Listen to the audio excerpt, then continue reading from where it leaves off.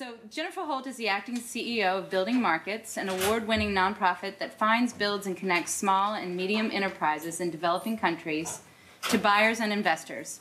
Previously, Jennifer was an independent consultant leading on a range of initiatives that promoted poverty reduction and advanced humanitarian and, uh, and development objectives in countries like Syria and El Salvador. Prior to this, she was the de deputy executive director of Building Markets. Under her management, Building Markets facilitated over $1 billion in contracts to local entrepreneurs in Afghanistan, Haiti, Liberia, and Timor Leste. Timor Leste? Timor Leste? Okay, Leste. Um, and created more than 65,000 full time jobs. Uh, she's also worked at the uh, Andrew W. Mellon Foundation. Um, she's skilled in organ, and I'm going to mention this because um, so when we do q&a when we open it up for questions you'll know some of jennifer's specific skills but organizational strategy program and service design project management communications and development. Um, she has a master's from columbia and she's spoken on the subjects of aid effectiveness and private sector development at oxford the council on foreign relations the un the geneva center for security policy and nato. So it's really an honor to have you here So we'll have a seat up here. Mind.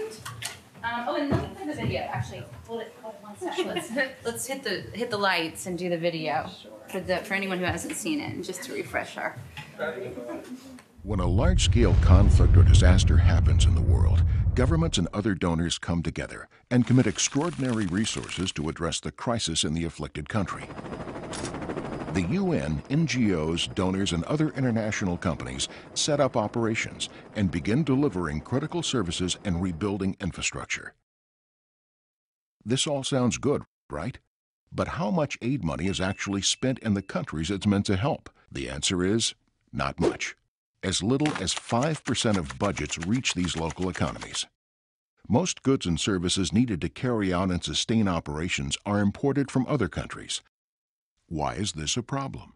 For countries to be independent of international assistance, not only do they need new clinics and roads, they need a functioning economy that can create jobs and supply the goods and services its citizens demand. And while billions of dollars are spent on aid and peacekeeping each year, most profits and proceeds are sent back to the developed world, leaving little sustainable investment behind. This creates a cycle of dependence on foreign resources where people remain unemployed, economic growth is slowed, and instability can return. What's the solution? Instead of shipping goods and services in from other countries to carry out projects, the international community could start buying local. This would allow critical services to be provided while creating much needed livelihoods and developing local capacity. Why isn't this happening already? There are some key obstacles to local procurement, including an absence of information, corruption, and convoluted contracting processes, all of which inhibit local sourcing. The good news is an organization called Building Markets has been set up to address this very problem. Through an innovative approach, Building Markets provides a set of services that help facilitate connections between the international community and local companies so that domestic firms are used wherever possible to carry out business. This includes training firms on how to find and bid on contracts, setting up and maintaining a supplier directory where verified local companies can be easily located, market research and advocacy, tender distribution services, matchmaking promising local firms with development demands. By spending locally, businesses are encouraged to grow and industries evolve national governments can invest new tax revenue to improve infrastructure, and corruption is reduced as businesses enter the formal economy. Sound too good to be true? It's not. Building Markets has helped redirect over $1.1 billion into the economies of Afghanistan, Haiti, Liberia, and Timor Leste, creating thousands of opportunities and jobs where they are needed most. Building Markets is a nonprofit social enterprise that contributes to peace and stability in conflict prone countries by championing local entrepreneurs and connecting them to new business opportunities. Ah, well, um, that's a great video. Right? it's actually a bit outdated, so that was. We welcome you to this Beyond the Headlines event featuring Dambisa Moyo, international economist and author of Winner Takes All, China's Hold race on. resources and what it means I for said our that world. voiceover. I just don't have it down yet, I haven't practiced it. Um, so that video was actually done a few years ago, uh, just trying to communicate what the organization was doing at the time, and I worked with an animator to do that. Uh, so now we're operating in a few other uh, additional markets, Myanmar and Mozambique. Um, we no longer have operations in Afghanistan and Haiti and Timor-Leste, although we maintain a network of businesses there. We have about twenty thousand businesses in our network overall. And we also, our, our services have changed just a little bit, just to give you sort of a, a quick snapshot overview. And essentially what we do is we go into a market, we find businesses, one of the biggest barriers to doing business in these markets is there's very low visibility. And so we go and find the businesses, we profile them, we make sure they meet certain standards and expectations. And then that helps inform everything else we do. Then we build those businesses once in our network through training and technical assistance, and we help them access the working capital they need to grow and become competitive. And then we connect them through a set of services, um, which were, they're pretty similar, but it's everything from tender distribution services, so we actually look for the opportunities that exist in these markets that are not often, again, easy to find, make sure they're in the local language, and we distribute them through SMS platforms, email, and tender distribution points in our offices, and then we have investor showcases and other events that network and matchmake the suppliers to buyers and investors. Um, and that's really, really a, a really simple approach that's actually created all of those um, contracts and create all that employment, so just a quick update. That's amazing. Um, and how long has Building Markets been around? Uh, it was started in two thousand and four.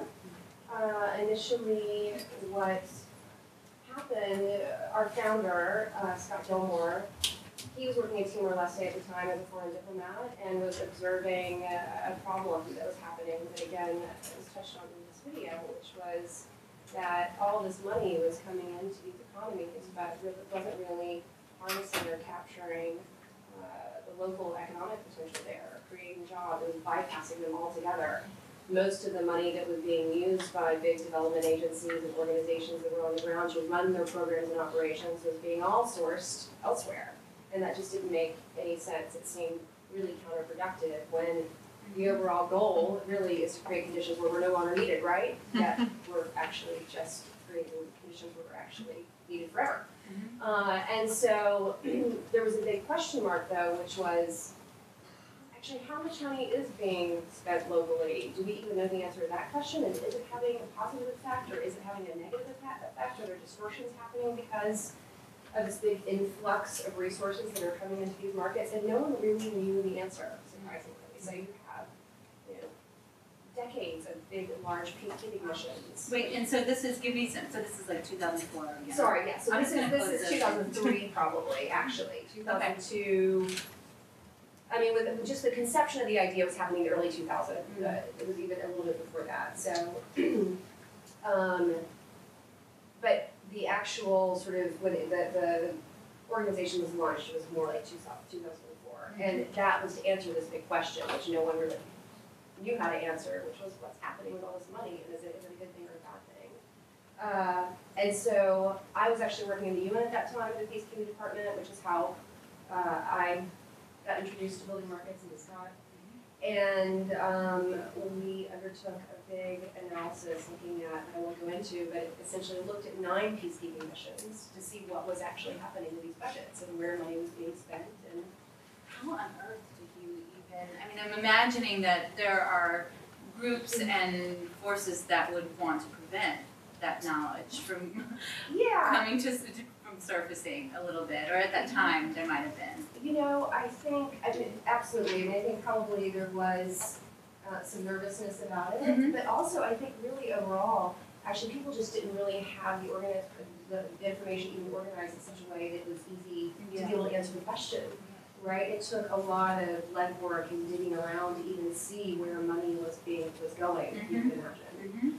Um, and, and there are, there were, there were a lot of proponents of it too. People realized this was a really important question to answer. I mean, on the peacekeeping side in particular, they knew that, you know, the economic potential and, and ensuring that that was, uh, being harnessed was incredibly important to the longer term objective. Mhm. Uh, so there was some pushback back in, in some places, I think more than others. Mhm. But but overall, what was shown was actually quite positive anyway. Even though there was not a lot of money being spent, it was still having an incredible impact on GDP. Mhm. You know, so even in the tiniest places like Liberia, we're still seeing um, a really positive trend. So the immediate sort of answer was, well, wait a minute, you know, if we can actually increase this more, think about what could potentially happen and how it could contribute overall again to that peacekeeping effort. And so it was not meant to be a criticism of peacekeeping. You know, it was presented that way. It was really like, how can we help you do better here?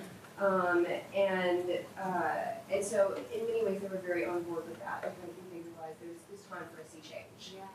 Uh, so and then that was applied just more broadly. We initially started helping the UN, but then obviously there's all kinds of quote unquote buyers in these markets, whether it's uh, the UN or other agencies and companies and uh, NGOs who are all carrying out programs and trying to sustain their operations. So helping them connect locally rather than having them sort of do the easiest thing, which may be, you know, pulling in all their capacity from elsewhere and sourcing all their different services from elsewhere, which may be a good short-term solution. You might be able to get things done tomorrow, but really what is the, the longer-term benefit that? Not know much, so. So many questions. Okay, so can we just do a quick like, um, and maybe this is for my benefit mainly, but probably would help some people in the audience too. Can you define international development? And Sure. talk about, if it's possible, Yeah. um, and maybe talk about, because I'm interested in how, how it's how, how it's changing, like what, what it means, and you know maybe what it meant when you start, you know, in 2004 ish, and what it means now. Yeah, well, I think it's important to sort of, yeah, i- i- that's a really excellent question, because I think it's important to kind of parse it out a little bit, Yeah. because we have the humanitarian side, I would say, of development assistance, and then the development side, which mm-hmm. looks more at, you know, recovery and rehabilitation and longer term reconstruction and and the humanitarian side is the early stage stuff that's all focused on saving lives, First responders. first responders, but they can go on for quite a while. I mean, I think, you know, as you know, from many crises around the world. But so that's that's one piece of it. And actually, I would say in many in many ways it works a lot more efficiently than the rest. Um, they've gotten much better at responding to crises. You know, there's a process that they go through, and Who's they? Like, give an example, like Red. International Rescue Committee, Mercy Corps, Yeah. uh, all those big players. Um, you know, in the UN, it's the it's it's OCHA, which is the Office for the Coordination of Humanitarian Affairs. They're sort of the first people on the ground, often in a crisis, because they're coordinating the effort. Um, and then yeah, it's all the big international non-governmental organizations, humanitarian organizations in space that also then arrive to start delivering services. Um, and then you have yeah the development side, which is really then all that money that's contributed by bilateral governments um, and multilateral agencies that's really investing again then in recovery and rehabilitation and reconstruction. And that's a much longer process. Um, so you can see that that's been happening in places like uh, parts of Africa where the crisis ended well over a decade ago and we're still focused on development. Um, so does that help? answer the question? Definitely. Does that help? Does that help with that? Yeah. Great. So in Syria right now, we're obviously focused on, you know, we're five years in, but we're still solely focused on the humanitarian side of it. But trying to have an eye towards development now as well. Mhm. So that it's not just creating this war economy and, you know, looking at how to think about that longer term lens even in this humanitarian stage. And how has it how has it changed since you've been working in the space? I mean, what are some of the things? Um, I hesitate to use the word trends, but I am I'm always interested in and how things are shifting and what's emerging. And I think there have been a lot of changes, a lot of changes, positive ones. Um, you know, what we have observed over particularly the last couple of decades is that we have not made a lot of progress in many ways, but yet there's been a lot of progress, hmm. right? And so that's a very interesting. Well, that's a oh wait. Yeah. Yeah, so is it because of us or something else? Right, right. Right?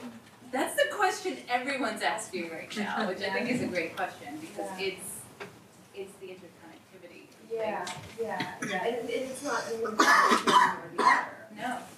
But uh, I think there's an increasing awareness on the part of the international community that wasn't there ten years ago, fifteen years ago, about what works and what doesn't work, and where we are failing, and where we are, we need to change our practices and increase our risk appetite in order to do good in these places and have meaningful change.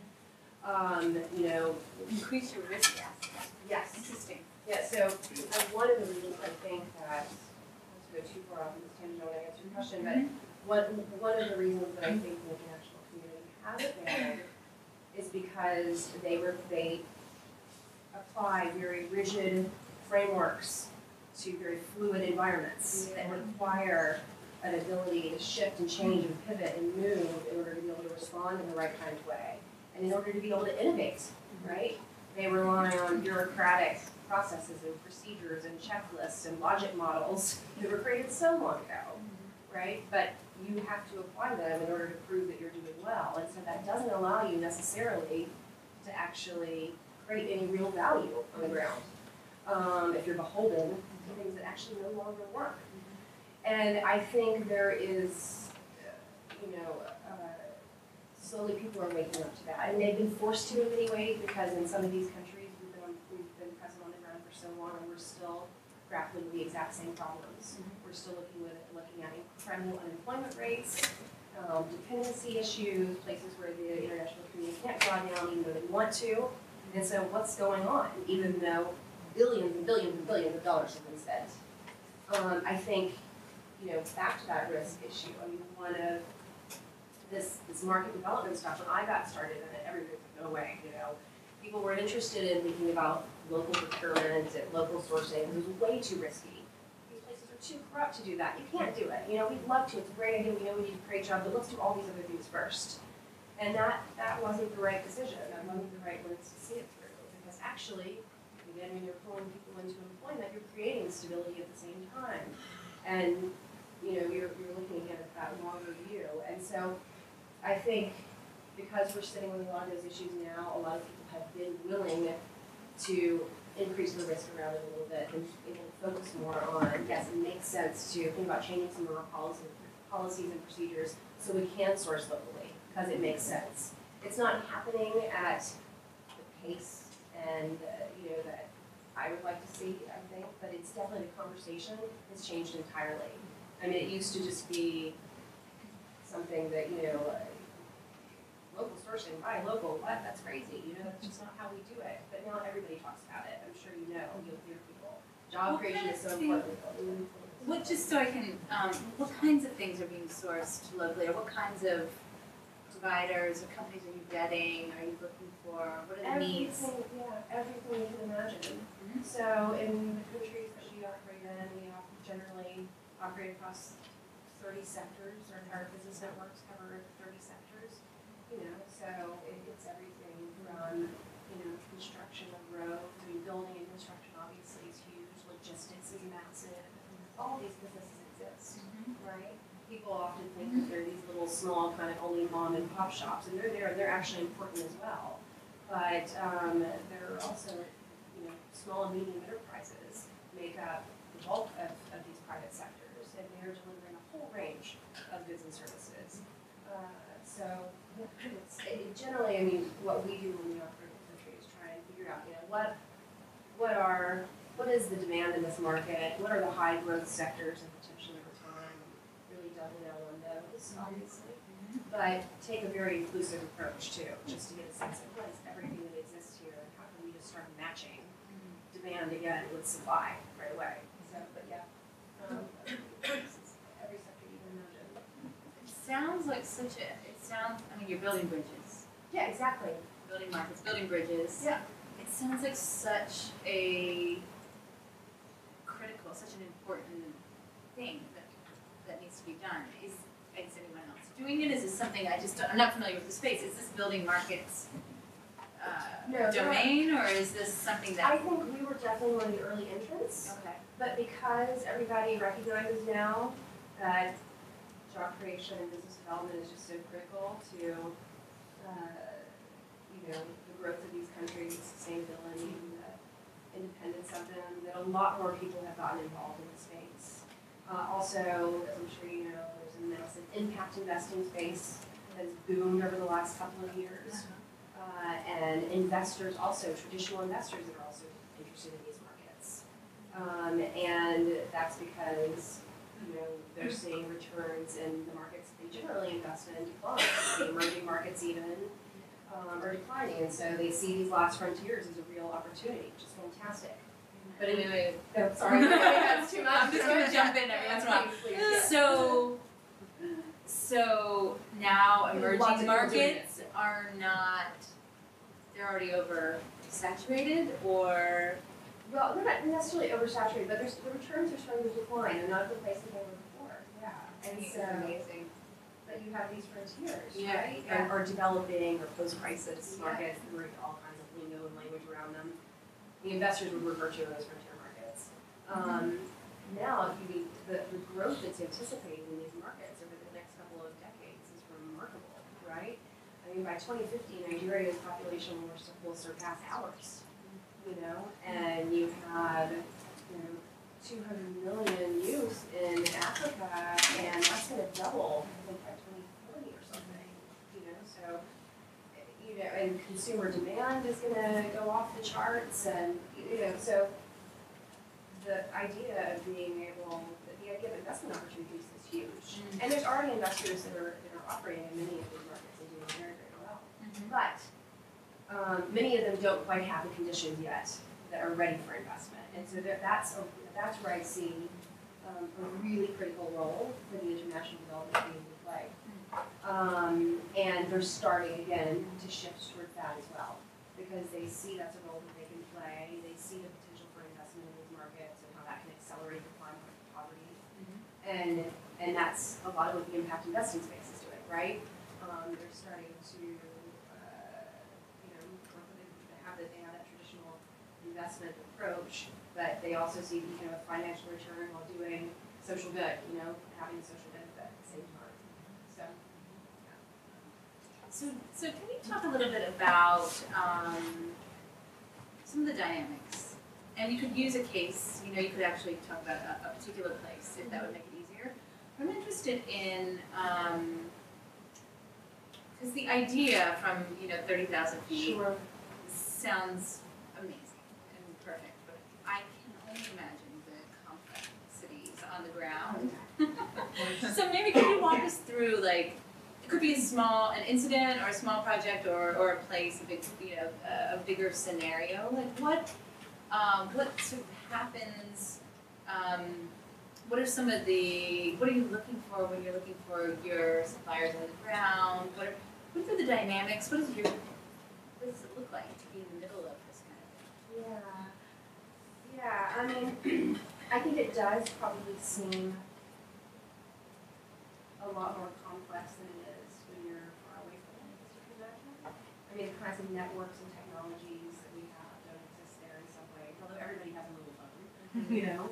So there's that, you know, everybody is connected in some ways, but a lot of the other ways that, the infrastructure that we have that allows us so, to so easily communicate and get around and all doesn't necessarily exist. But a lot of these places are also small and where the development is happening is very concentrated. Um, you know, a lot of, I think the reason that more progress hasn't been made is it's just legwork that has to happen, right? And so it's literally running around and connecting dots. It's literally running around and sitting down and having conversations, you know, um, and, and that takes time. And sometimes we don't, that our industry doesn't allow for time, right? We wanna, we've got, you know, again, we've gotta meet deadlines and we've gotta meet the targets that have been set out in our proposals, you know, by X date, and that's not realistic based on how these, um, countries are set up and the infrastructure that they lack. Uh, but, you know, it's, it, it- it's not, as I, I- it's not as difficult as you think it is, you know, I mean, you you really do have to rely on, again, local sources. One of the, the big mistakes that also the international community makes is they assume there's all these, these problems, not, not saying you're assuming Yeah, but they assume there's all these problems and they kind of have these, all these ideas about what the solutions are. and They haven't really locally engaged to figure out if, actually, are those the right problems? And then what would the right solutions be? You know, there's so much local talent and, you know, information that exists in the, in these countries that's not really engaged upon. And when you start to do that, a lot of the answers seem much more clear. The solutions seem much more clear. Um, but it's legwork, it's time. I mean, because things, you know, you've got all these different players in these markets, you know, I mean, and, and some of the more difficult ones, you've got a whole range of development agencies that are dispersing aid, and you've got the local government, which is not necessarily, or usually not ever, you know, has the capacity that it needs in order to be able to perform its job. Um, you've got a whole range of, you know, development contractors and organizations who are also, and everybody's kind of bumping into each other and there's a million meetings going on and, I mean, that's really the complexity part of it. I mean, there's a lot of time wasted in trying, in trying to get things done because we uh, have created all of these, we, I think we, actually, the international community has created a lot of processes that have slowed things down, to be honest, you know? Working groups and clusters that meet, you know, and to discuss what the problems are, as Yeah. opposed to just getting out there and doing the work and actually engaging more locally. Um, and so I can't think of like an exact example. Most of the examples that I think of are with the revelations that I've had when I've thought, oh my God, this, this, this, I know this industry is, is not getting it right, you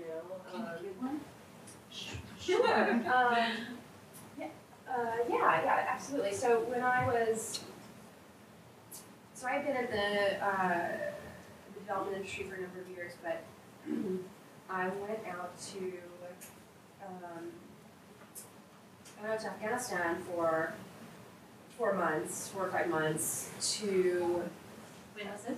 this was in 2005, 2006, 2006. Wow.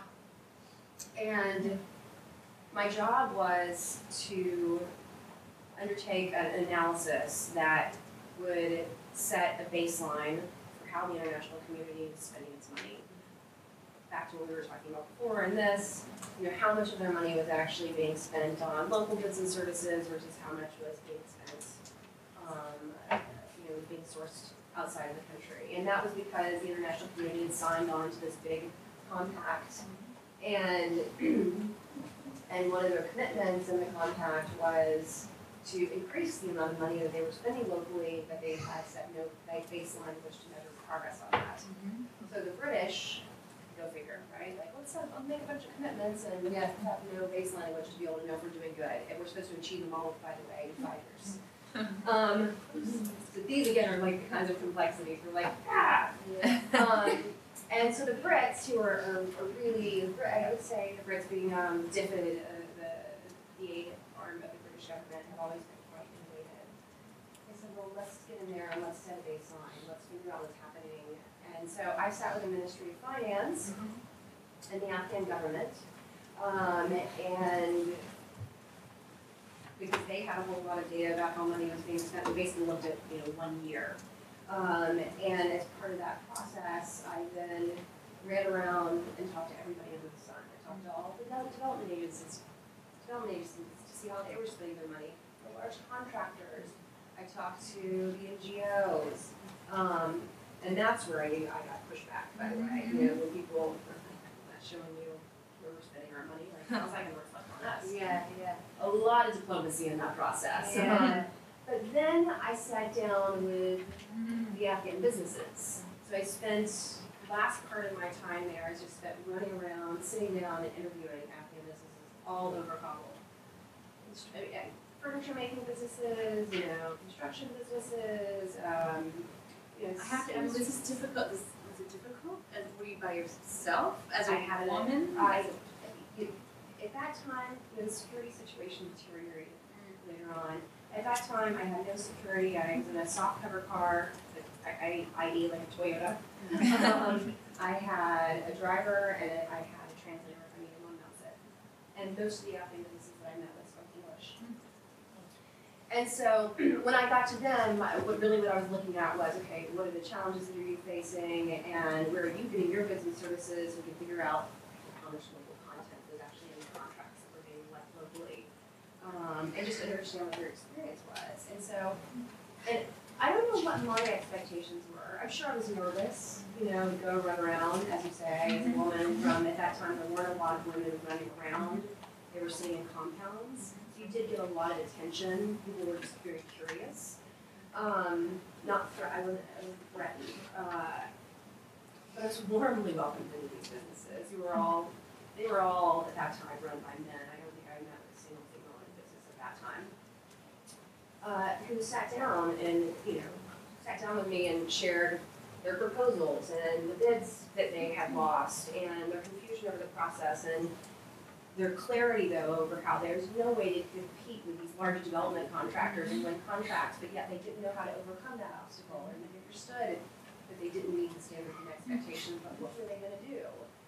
And that was sort of an aha moment for me when I realized, wait, we got this our purpose here is to create conditions where we're no longer needed. The private sector is so critical. Here were these very viable businesses, um, who through their own resourceful, resourcefulness and drive, were continuing to operate, um, not keeping the employment levels that they could, but there was this massive influx of aid coming in, and not, not engaging with them, just completely bypassing them. And that's when I knew that we got wrong. you know, we're not doing this right. Um, do you guys want to start asking some questions? So obviously setting up, you know, like doing the legwork of finding businesses and talking to people and relationships takes the most work. Yes. But yet, sort of the the countries in the video are updated. So can you maybe talk about like there's like not as much aid going to Afghanistan, for example, anymore, and like you also are not there anymore. So can you kind of talk about just as an organization how you strategize what countries to work in, how you choose to like pull out of markets and those Yeah. decisions? Yeah, that's a good question. Um, and you hit on another really, a really good point I'll get back to. But, I mean, essentially, you know, a lot of, this is again a problem with our, our industry and being a nonprofit. Uh, and I'm, I'm a big cynic about, about nonprofits too, so feel free to ask questions about that. I think the way we operate actually is really flawed as well. Um, just, you know, at, large, but a lot of it's donor driven. They say, you know, we've got budgets to, uh, you know, operate programs in Liberia. Can you operate in Liberia? Because there is a need for, you know, X, Y, and Z.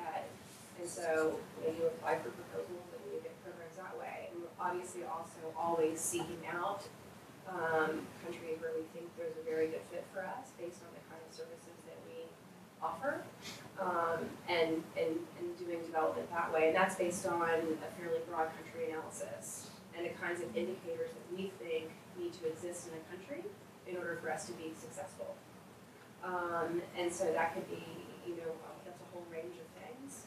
Um, everything from governance and regulatory environments, you know, uh, to, to other issues around business development, ease of doing business. So how many are we going to be able to capture by working in, a- in, a, in a country like this? So Can I just ask out of curiosity, is that like an algorithm or a spreadsheet, or is that more like, let's No, just we take a actually have it. snapshot? Yeah, Like a whiteboard, is it a little, is it formal or informal? Is Yeah, it- it's a bit, we did, um, a couple of years ago, we did a, a really huge analysis across about hundred eighty-six, hundred eighty-six countries, Okay. essentially. Thorough. Um, and narrowing it down to, you know, like ten or fifteen, truly, you know, where we felt like there was a set of indicators that aligned with us. But still, you know, we've kind of gotten off course of that a little bit because, uh, you know, a- a Liberia may not be a a country that we would have chosen. But I'm so glad that the organization is there because incredible things have happened. There's a big focus on it, there's a lot of aid spending happening there. And got, there's just a remarkable team there, and they're just doing extraordinary things. The entrepreneurial spirit, spirit there is fantastic, there's a huge need for the work the organization is doing, there's other people in our space as well, um, that are doing similar things, and so it's all worked out, you know. Um, but just to go back to what you were talking about earlier, I don't know if I answered your question, but um, at the beginning, and it, it it goes back to what you were saying in terms of complexity, one of the big issues in these environments, and you, I kind of forget and take, take for granted sometimes is that you obviously can't just go into a market like this and expect businesses to start engaging with you, right? There's huge trust and confidence issues that you've got to be able to win over in order to be able to um, cultivate those relationships and where they feel like they're actually going to get a return from you, which is really important.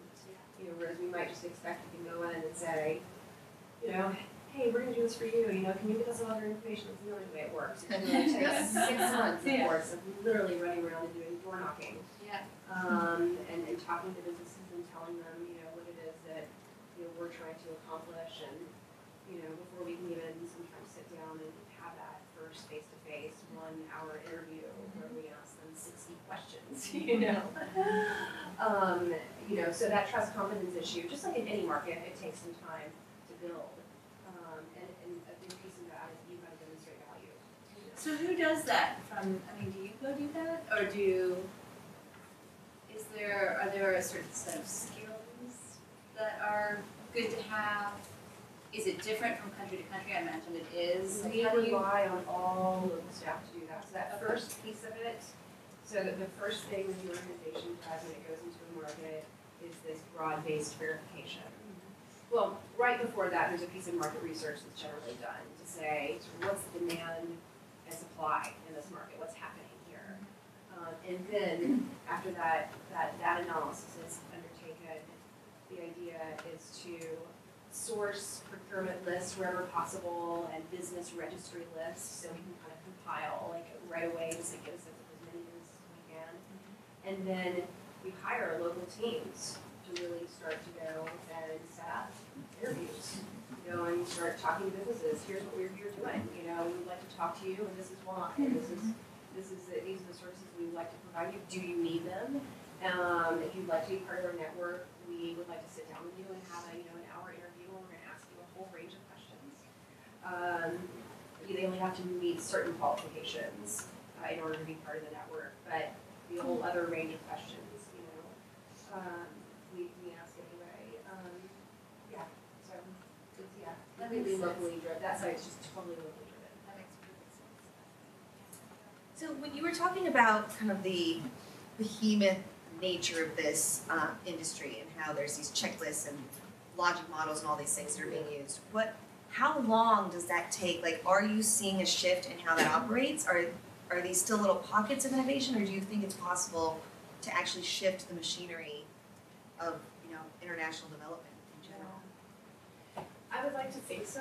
Um, you know, aid budgets are shrinking, shrinking, they're getting smaller, and I think that's forcing, uh, I think that's forcing a lot of governments, when we're talking about those kinds of donors, to rethink the way that they, you know, they're, they manage aid and the kinds of programs and projects that they support. Some of them are act, act, actually integrating with, you know, their trade departments. So the Canadians have done that, the Australians have just done that, they're two big donors, right? So they're looking more at, you know, development finance and, you know, focusing on the investment side. Um, and so that requires a larger risk appetite. But um, how quickly they will move beyond some of those processes, I don't know. They're so entrenched in a lot of that bureaucracy, it's really difficult to think about how to change it.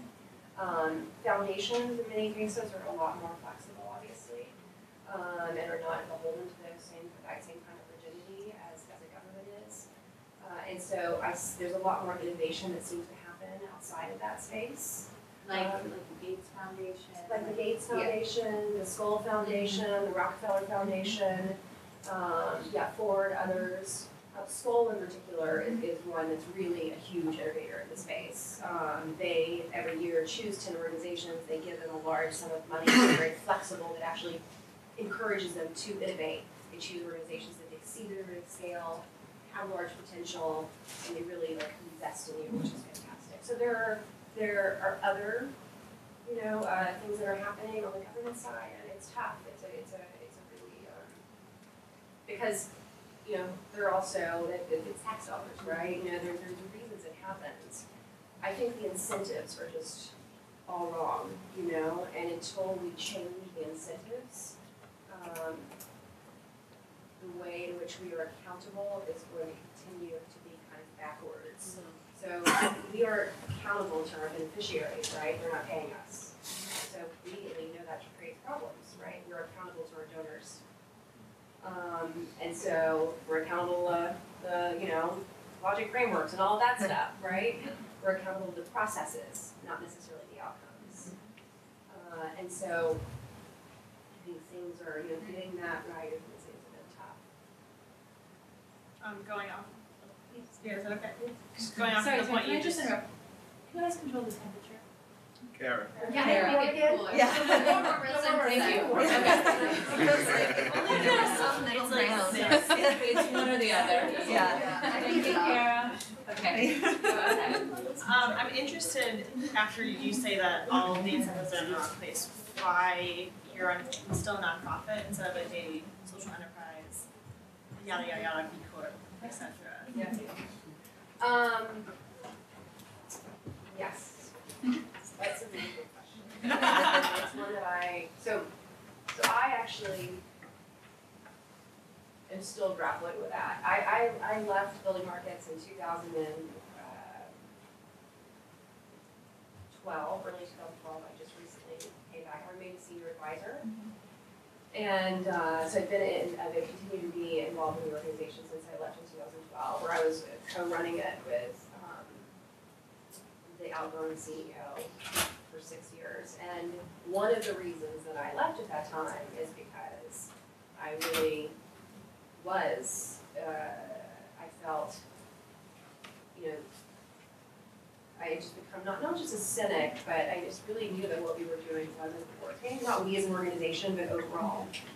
Um, and, uh, and, and so, right now, the way I look at it through the lens of being a nonprofit is how do we shift what we're doing where we can actually start creating value, monetizing our services, you know, so that we're generating that revenue through the work that we're doing, I think actually we should be, and we're not enough. And I don't know if that's because we're not generating enough value in order to be able to monetize them, and monetizing them can be charging, we already do- are doing it in some cases, in Liberia, we, where there's just a massive demand for our training, we charge for our training, and people pay for it. It's excellent, it's a really great program, we've got an incredible Liberian facilitator there. Um, and we're starting to play and test with it in other markets, so it is happening. Um, you know, just converting over to a, a, a- you know, is, is I think a, a little bit more difficult. I mean, if I had this to do all over again, if I started something new, I would start a nonprofit, I would start a for-profit business for sure. Um, based on the work that I'm interested in. And, um, because we're trying to fill a market gap, right? And so theoretically, if that's what you're doing, you should be creating enough value where you can charge something for it, because the market should take it over.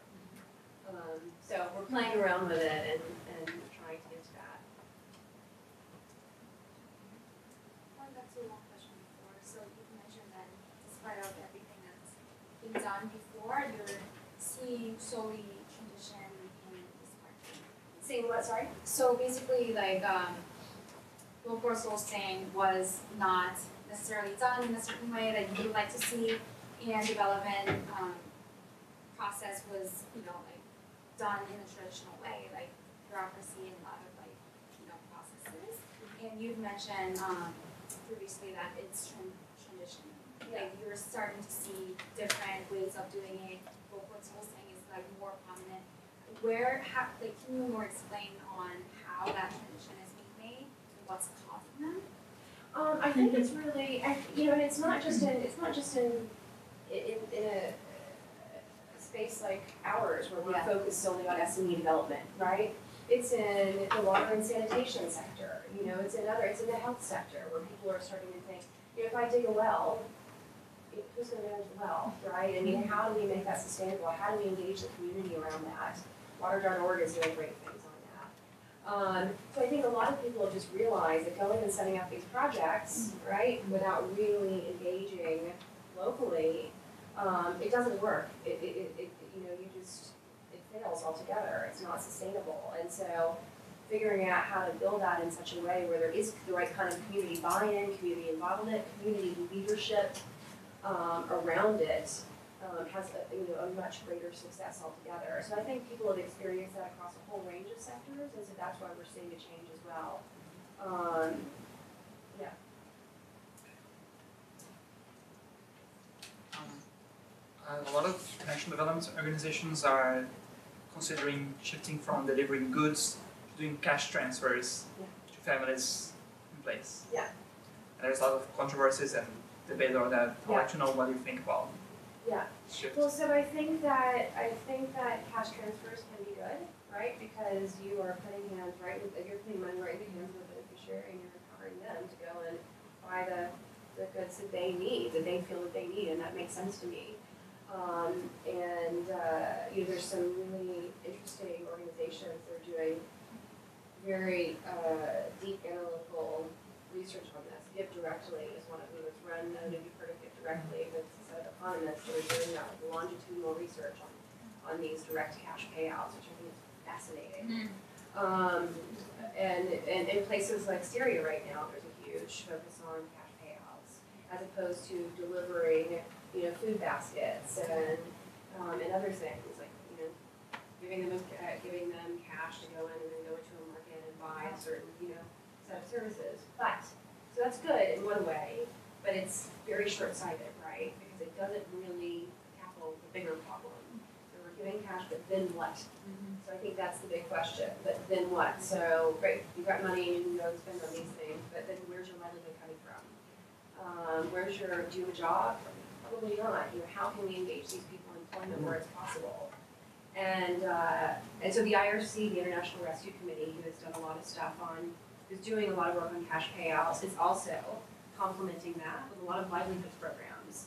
So in the Syria context, for instance, where there's a big, you probably know there's twenty-two million people in Syria, half the population is displaced right now, either internally or across the borders in places like Lebanon and Jordan, Jordan.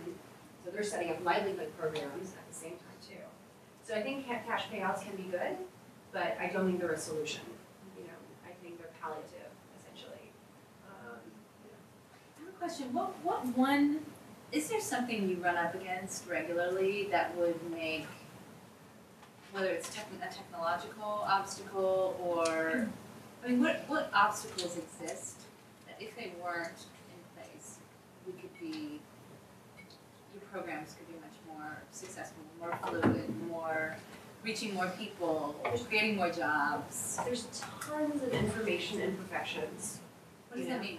Um, so information asymmetries, you know, there's just, there's, there's no visibility in these markets. People don't know, you know, taking our example, buyers don't know what suppliers Yeah. exist, suppliers don't know what buyers exist. Uh, development agencies who are looking to start programs in these countries have no idea what talent or expertise exists on the ground so that they could connect with them to find out what's actually happening in the space that they're interested in, so they fly a consultant in to find out instead. It's great See, this is like, this sounds like a good design challenge. There's so many, you Doesn't no it idea. feel like this is something we could take care of? No, but it does, I mean, it really, it's a communication issue. There's a massive, and I mean, it, I, so I'm getting ready to launch a program in Syria, and you just, you can't, you can't imagine some of the sort of most basic, um, infrastructure that's missing. So you have the international community that's operating there, and Syria is a very unique country. It's tons of capacity, right? It's not like a, an isolated country in West Africa, right? They, they're basically a developed country that's now gone through this incredible upheaval. And so you've had all of these Syrian organizations, hundreds of them, that have emerged but are not able to access donor funding or uh, partnerships with unwilling partners, and many times they don't know why. Um, there are um, no platforms in which they can, you know, communicate with each other, even to know what their, their individual priorities are. The international community doesn't know what the priorities of the Syrian community is. The Syrian community doesn't understand the priorities of the international community. And there's nothing even centralized around that. So I that's just like a very simple example. Like you can, it's so hard to imagine that you would, someone would have just thrown up a website already to say like, you know, you know, here are all, here's all this really basic information that help guide you um, through this. I mean, and here are the kind of training events that are happening over the next month, and meetings that might be relevant and priorities and counterpoint, nothing, you know, it doesn't even exist. But there are a lot of tensions to resolve because there's all this miscommunication and misunderstanding between the two sides, it just could be easily, easily alleviated with something as simple as that. So there's a lot of, there's a lot of information imperfections and just a lot of just low visibility on what exists and what's happening, and so things get bypassed, right? Um, yeah, I think that's, that's one of the biggest challenges. Um, have you seen any innovative ways that um, the international development community has been building knowledge capacity um, in these countries as far as like not relying on, for example, the World Bank to do your research and tell you what the problem is to then guide others? There's a wonderful new um, uh, social enterprise, it's for profit, it's called On Frontiers. And this is what they're doing, it's run by this really dynamic, wonderful Danish woman that I know, I used to work with actually, Anne Kroijer, who saw that, who observed this problem.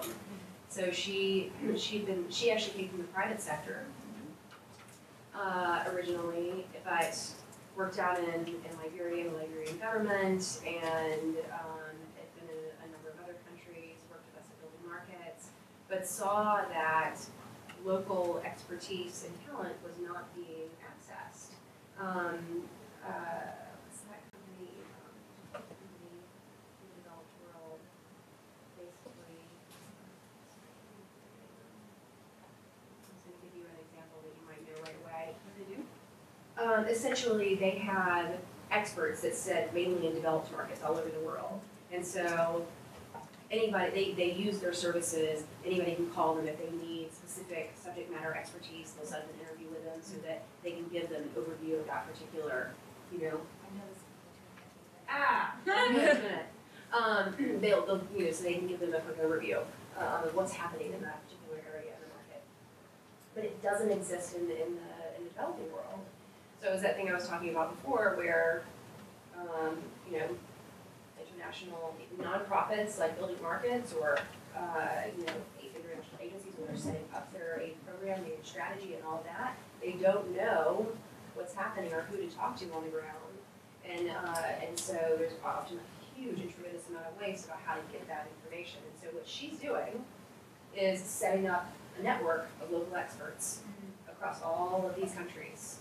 Um, and it's going, I mean, she is just, it's, it's just like a house on fire. She, you know, she's just, she's been operating for a year, she's already in like sixteen countries, she's already got four hundred experts. Um, and, you know, everybody from, I think, you know, the Wall Street Journal to some of the big development agencies to investors have already been using her. Because it just shows what a huge demand, and that capital is only going to grow. But it's, it's, it's another just example of an information and, and and perfection, and yeah, so she's doing it, she's really tackling that, it's, it's, it's fantastic. Yeah. Like, yeah, I'll send out the information, yeah, it's So- just fabulous. Mm. And it's based in Denmark or based here? Here, she's based here in New York City. Yeah. And how does that organization traverse, traverse beyond the corruption you were talking How does it what? How are you able to get beyond the corruption that you might think about? Yeah, um, you know, you can't get, you can't always get beyond it, right? Um, There is no corruption in corporate America, by the way. Right, exactly, exactly. really, no, it's- exactly, the the corruption is on both sides too, right? So what you see in a lot of these markets, you know, Afghanistan is a perfect example, where there's just an unprecedented amount of money going in there, right? And- a recipe for trouble. a recipe for trouble, and oh, very little regulation of any of it, right? And so it's very easy to skim off contracts and extort and do all of that, and that's happening on both sides. Um, but, you know, there are some ways in to, to manage the risk by ensuring that basic, for example, in our model, I mean, what we would do is make sure that, that basic standards are in place, they're properly registered and licensed, and we actually do the legwork of going out and sitting with a business. Does the business that you say you have actually exist? You know, so going out to see that it is there, because people will also, of course, have the business that's not necessarily that business. It seems like a very simple and probably really effective uh, action. Yeah, just legwork. Yeah. You know, again, it's just like doing that legwork, instead of just assuming they're all corrupt, right? It's a going out there and, and just doing the legwork, and, and that's worked very well for us. Um, but I think, you know, once we, as a, once the international community makes a decision to operate in some of these places, you also have to be willing to take on a certain amount of risk. You can't, and that, that's one been one of our biggest mistakes. I think one of our biggest failures is that we decide we're gonna operate in a country where we know there is huge corruption because we know that there's not a regulatory environment in place, a legal system in place that necessarily protects you. Um, there's not insurance and all of that. Um, and so then we have all this money to spend and we say, oh, we can't do any of those things because it's too risky. what are we doing here? You know? and so, um, yeah, uh, yeah, so it's, it's, you can't get around all the corruption, but there's certainly things that you can uh, do.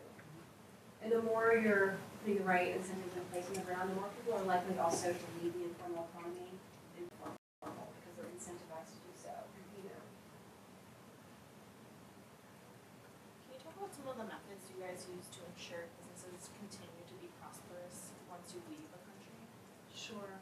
Um, well, you know, that's, that's a, we, we don't necessarily track businesses after we're gone.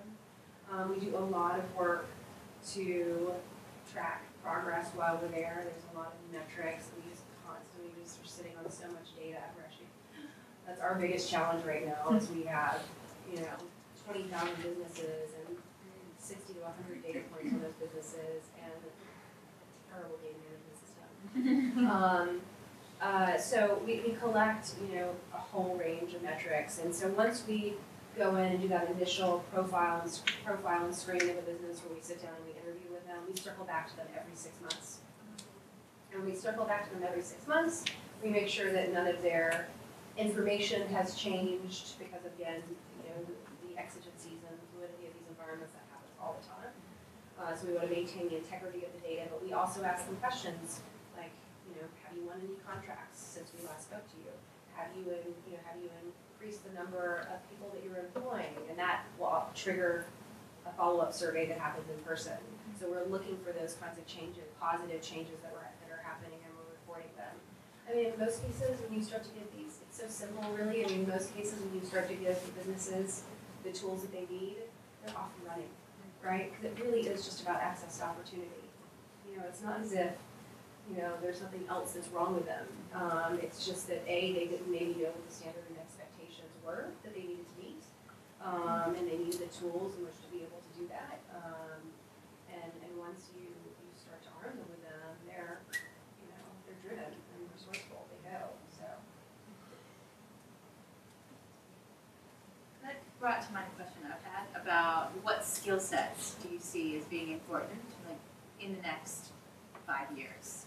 In international development or, um, on the, in these frontier markets? I mean, or, or for organizations like yours, I mean, data scientists, Yeah, data analytics, and so we can be able to actually, you know, measure progress and see what's happening in of markets. Design is obviously a huge um, deficit in the international development space, aid industry space. We're not, we don't, the industry's not been equipped with that. They've never really been asked, you know, to, to invest in real design know, things like discovery work and stuff like that is not, part of the lingo of the jargon, um, uh, that exists in, you know, the private sector.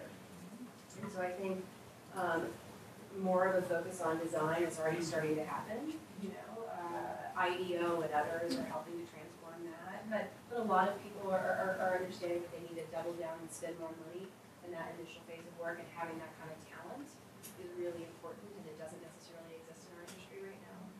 Um, I think, um, yeah, the analytics, the analytics side is obviously very, very important. You know, on the technology side, I mean, there's just all kinds of solutions waiting to be created, right? Um, there's been an explosion of technology, but how do we take that technology and apply it in a meaningful way where it contributes to inclusive growth? So it's not just technology, if it's a solution that's searching for a problem, which is often what's happening. Um, but how do we really take it, you know, and, and, and, apply it in a more meaningful way? And I think there's know, incredible opportunity for that. You know, Who's, are there any organizations, like I know the Knight Foundation does some, what nurtures and supports, um, entrepreneurs who are building some of these tech solutions in the media space. Like, are there who's experimenting? Who are where are uh, there entrepreneurs or startups that are being supported or I mean, a lot of that's happening, you know, in places like Africa, you know? I mean, a lot of that's happening already and being supported by, you know, African entrepreneurs. You know, a lot, some of the really interesting stuff is already happening there. But, I mean, you know, the needs are massive, right? So we've made, uh, I mean, I can't, I'm trying to think of, of the, like, off the top of my head. I mean, Skoll, and Skoll's another one who supports that, you know, those kinds of solutions where you, you know, look at some of, um, particularly where there's really extreme poverty and slums and how do you start, you know, bringing people and, you know, getting microfinance loans and, and that kind of thing, so you can just start with very, very small businesses, you know, big organizations like Kiva, I'm, I'm sure you're aware of, I mean, they've got massive support for what they do on, uh, um, I'm trying to think of who are some of just like the, the strictly based there's an organization called Benetech. Um, they're not necessarily focused on entrepreneurs though, but they're technology-based solutions. Um, there's so many uh, mobile money, um, uh, groups that have, have emerged for obvious reasons. The access to finance and capital is one of the biggest inhibitors of growth in these markets. Um, and so figuring out how to more quickly get money to entrepreneurs, you know, mobile devices is the way, is the way to do it. We've seen so much progress and growth around that, and so there's a lot of support for that. But I don't know exactly, Rockefeller's doing it, I don't know, I don't know exactly who, they- there's one specifically, so I have to. No, that's a I'm great sure answer. I mean, I guess I was just sort of wondering if um, all the incubation Yeah. of startups and ideas that are happening in the commercial space. I mean, Yeah. just, you know, building the next great gadget Yeah. to make your life more comfortable. Yeah, Kind of, like, is the, you know, is that also happening for these more practical kinds of, you know, practical, like, essential kinds of issues? Uh, and it sounds like it is. I mean, you gave some great It's starting to happen, yeah, yeah, yeah, I mean, it's definitely starting to happen more and more. And there's, but there's gonna be just such a huge demand for it, Yeah. um, over time in these markets, because there's so much progress, as, as daunting as it may seem, or maybe it doesn't, I don't know, but so much progress has been made over the last three decades, where extreme poverty has basically been cut in half, right? So the number of people living on a dollar twenty-five a day has gone down, for in developing countries, has gone from fifty percent to twenty percent, that's incredible. But, you know, you increase that to two dollars and it's, you know, a lot higher, it's two billion, it's still got a big problem. Um, but all kinds of, you know, other progress has been made too, I mean, there's increasingly more educated, um, you know, people entering the workforce, there's more democracy, the health indicators are better than ever. Um, you know, there's more investors starting to to look into these markets because the right reforms and regulations are in place, that's all positive and it's gonna drive all kinds of other growth. But at the same time, you still have, you know, eight hundred million people who don't have access to clean water and safe sanitation. I think it's like one and a half, twice that for, uh, you know, safe, clean sanitation. You still have, you know, over a billion people who don't have access to electricity, how do you solve that? There's big infrastructure problems that are slowing productivity in big ways, um, and slowing growth. And, and how do we address those issues? Um, I think in many ways, markets are the ones that are gonna kind of take care of some of this on its own. I mean, I think that's really what's responsible for a lot of the progress that we've seen as opposed to aid. Um, but nonetheless, we still have all these, you know, these other problems that are happening and conditions that really need to be created in order to be able to really capitalize on that potential, you know, and, and that's, that's where these creative solutions and there's a million ways to be developed, I think, so. Hi. Um, It's so- all on you guys. So when you're trying to foster um, sustainable development, what role does environmental sustainability play in this kind of? work? Yeah, It's a great question. I mean, I think that's also something that's now increasingly being paid attention to, whereas maybe it wasn't so long ago. So it's, you know, in our case, it's ensuring that businesses are trained on environment. What does that mean? You know, how do you know that um, you are, you know, uh, um, protecting the environment in ways that you should, that your practices include, you know, environmental sustainability of them, because if you wanna work with a big extractive company, for example, in Liberia, those kinds of environmental standards, standards need to be part of your business model, right? So, um, it, it's, it's more and more, it's becoming part of, part of practice, um, but I think it's, it's newer. Uh, and a lot of social enterprises, I think there are social enterprises that are being developed, uh, or, or, or set up, they're specifically focusing on that, like how wood is sourced, for example, in countries where there's a lot of depletion, and thinking about how to do that in a more sustainable way. Um, so I think over the last, I would say, five years, that's, you know, really, really on the rise, and the expectations, expectations are changing, and it's becoming part of the conversation. Um, I think it has to be realistic in a way when you think about what the priorities are, you know? Um, you know, a successful business has to be aware of those things in order to be able to, you know, operate over time. But, uh, you know, putting it into that kind of the line of what needs to be done, sometimes we get a little bit ahead of ourselves in terms of saying, you know, well, we can't do business with this company because they don't have these environmental standards in place, you know, is that necessarily realistic based on what their operations are? But it's definitely part of the conversation, um, and we include it in our training. Thank you. I'd love if you could just do a little um, bio, like a little review of your journey, just you know, for these guys crafting their own journeys. Yeah. How did you get to be here in this position? Um, it's never linear.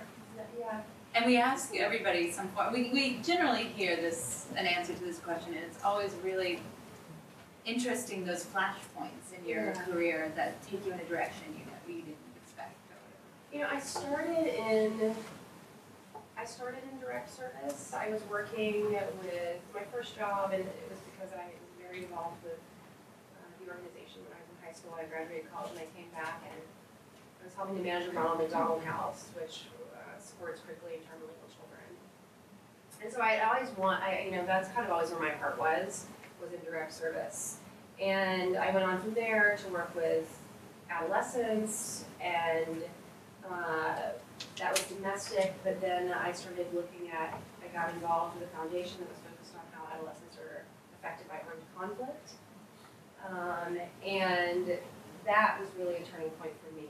I went out to Kosovo and not long after the war and worked with Serbian and Roma and Albanian youth and was just floored by, you know, what I observed and saw. It was just extraordinary. And I think at that point, I, I loved, I loved the, the, the direct service meaning, you know, just being able to work directly with someone is so inspiring, the change that you see, uh, the work that's involved in that. Uh, but when I started to kind of understand what some of the bigger problems were, you know, not just isolated to these, you know, smaller relationships that I had, I got very interested in what the drivers were, what was happening in a lot of these countries when I was in the, you know, I moved into the international development space. Um, and, you know, the drivers, of a lot of the conflict was, was unemployment and a lack of ec- economic development and opportunity and business development, and that just really resonated with me. It made so much sense.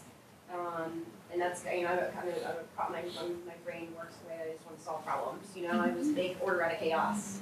And, and then I went off to Afghanistan and met these entrepreneurs and saw the, the problems that they were facing and how, again, how resourceful and driven they were and how well they were doing in spite of, of the support that they were getting from the international community. And I thought, God, if we can accelerate the emergence and nurture the emergence of these entrepreneurs, think what can happen.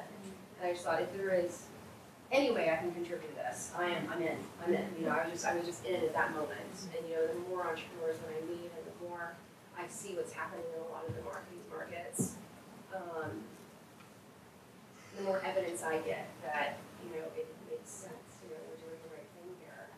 Uh, yeah, and so that's that's really kind of been my experience. It was a bit linear, actually. Yeah, it was. Um, Well, you that know, blows sort that barrier. No, that's good. People are linear, people who are very comfortable with a linear Yeah, format. yeah, yeah. So, Like A led to B, B led to C, C led to D, and here I am. It wasn't that easy. It's not to say that at all. You know, I've had, there's been all kinds of crazy moments and everything. Yeah, Of course. But it did, yeah, it, it, I got very lucky, I guess, in a way. Um, very, very lucky to get exposed to some things that were very transformative for me personally and opened my eyes, got me to think. You know, coming back into graduate school where I had some time to really consider it and go back, go out and just try it. Um, and, you know, you, you have ideas about the way things work that completely get destroyed in the process, right? um, and you realize how foolish you are and naive you are. But um, a lot of that was really getting the opportunity to go out and, and, and work on the ground and, and see the way things were really happening. And uh, a lot of that just reinforced what that aha moment was um, in terms of my own commitment to, you know, changing these kinds of, uh, you know, contributing in some way to equaling the playing field and equaling access to opportunity for all and, and reducing poverty. It's completely possible. You know, it's doable. Um,